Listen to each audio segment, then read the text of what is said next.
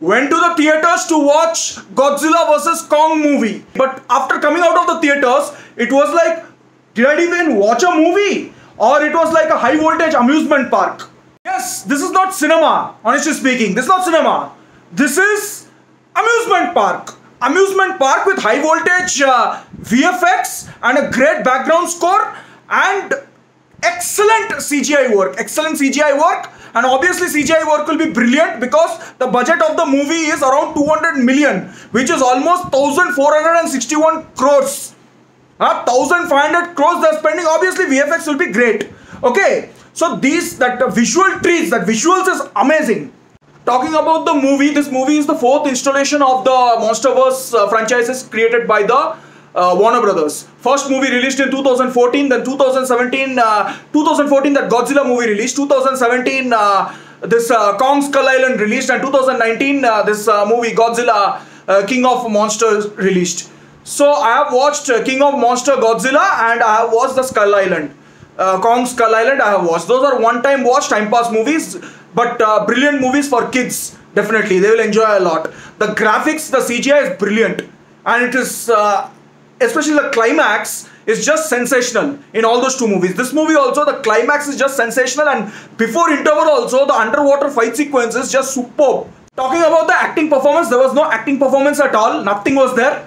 First of all, the movie is 1 hour 53 minutes. Out of that, 15 minutes is the opening credits, uh, closing credits, everything. That also, post-credit scene, nothing was there. Okay, so 15 minutes gone from there only. The actors, honestly speaking, the actors didn't have anything to showcase their acting skills. Nothing. They didn't have any scope. Only one actor who has acted brilliantly is that small girl. That too without uttering a single dialogue. She has just nailed it. That's it. In that Kong Skull Island. She is a friend of uh, King Kong. She has just nailed it. Not even a single dialogue she says. Only expression and sign languages she uses. She is the best actress in this movie. She is the best actress. She nailed it. She nailed it.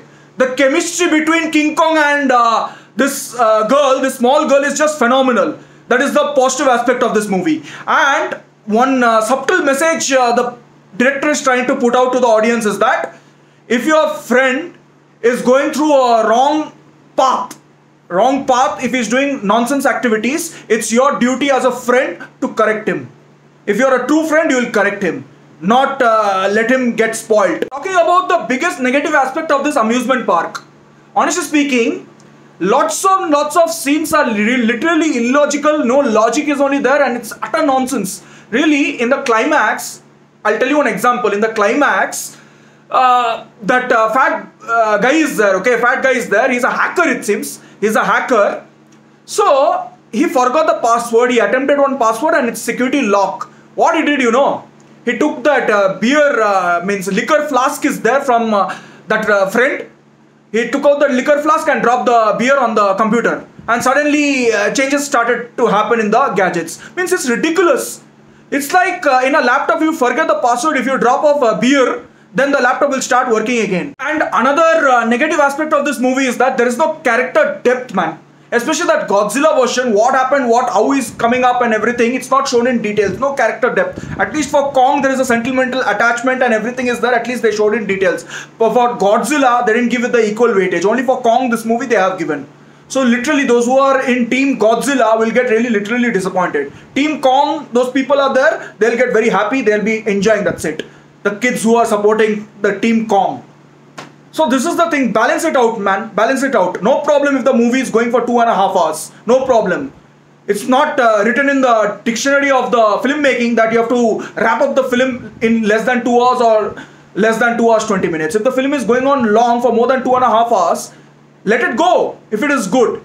So literally I don't understand this strategy from this Warner Brothers, same producer who has uh, produced this Justice League. So this is the what happened. But visuals, CGI and background music and that acting performance by that girl with the Kong, that chemistry was spectacular. Last but not the least, my ratings for this movie is 3 out of 5. Okay, kids will definitely enjoy because if King Kong does ha ha ha ha, that's it. That's enough for the kids. And Godzilla's fire is amazing. Ah, that it is there. That's amazing. Clean content. So definitely kids will enjoy it. Visuals is also brilliant, so kids will definitely enjoy. If you like great visuals, great spectacular scenario, then you can enjoy this movie. But if you are an audience who enjoy Martin Scorsese movie, Quentin Tarantino's movie, or uh, what is that, uh, Steven Spielberg's movie, or Christopher Nolan's movie, which has great acting, great story, great twist and turn, you will definitely not like this movie. You will find this movie as a mediocre, average, bogus movie. You will find it.